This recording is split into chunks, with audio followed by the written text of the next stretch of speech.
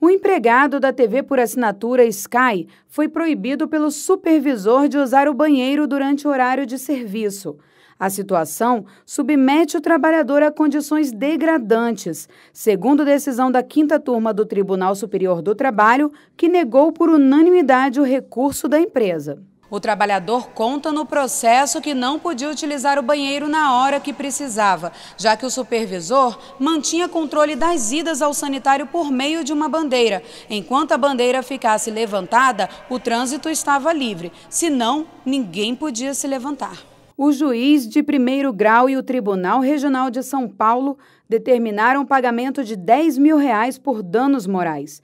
A empresa de TV por assinatura entrou com recurso, mas para o relator, ministro Brito Pereira, o controle de uso do banheiro ofende a honra, a dignidade e a intimidade do empregado.